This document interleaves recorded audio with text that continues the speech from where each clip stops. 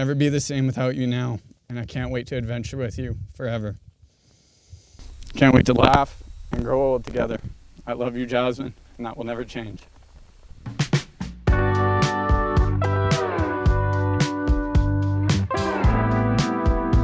Everyone, um, my name is Ore. I'm a photographer and filmmaker based out of Edmonton, Canada.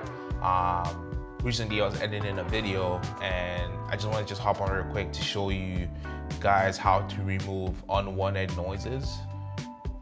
It's like bird noise, like or like unwanted noises while you're editing.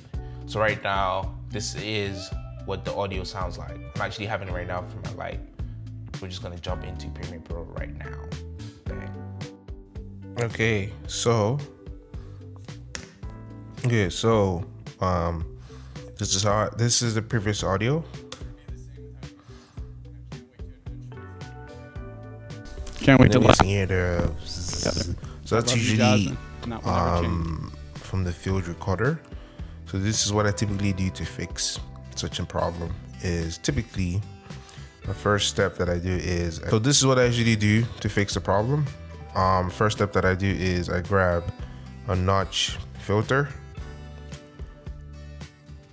I rather use this than the parametric equalizer because the parametric equalizer usually gives a little problem where in the sense it affects the speaker voice but i would show you the two examples so that makes more sense. So so that's just gonna that. And then right now if I edit. So usually i try to reset everything back to zero dbs. So zero zero zero zero zero zero. And then usually I just try to listen to try to see what the issue might be. And for this specific one, I'm pretty sure it's at around 10k. Uh, so after resetting the dBs to zero, you change it to super narrow. You drag your points, and then I believe this is around 10k, and then I could never be the same without you now, and I can't wait to adventure that with kind of you reduces it a little bit. And then the next thing that I usually do is I add. So this is the effect. This is what it sounds with the notch filter, and then you can hear the voice that sounds properly. And then if I use the parametric EQ,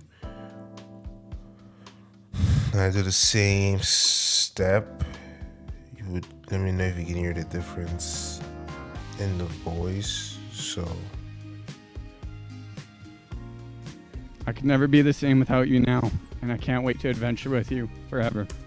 So it does affect the voice a little bit, but I think the one that really changes is after I fix the the with the filter, I go down to effects, and then I use the effect called denoise, and that usually 90% of the time fixes it.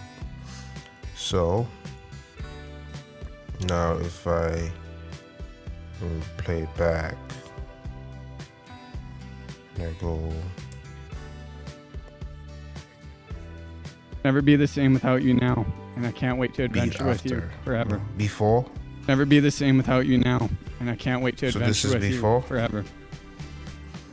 And then uh, notch filter, denoise. Never be the same without you now, and I can't wait to adventure with you forever. and that's how you fix bad audio in post. Let me know down in the comments if you try this effect and let me know if it works for you. Um, if you know or you use any other method, let me know down in the comment. That would mean a lot. Um, or if you use DaVinci Resolve and you have a video that you've watched to get rid of it, let me know down in the comment as well. And I'll catch you guys in the next one. Like, comment, subscribe. Catch you guys next. Keep creating. Peace.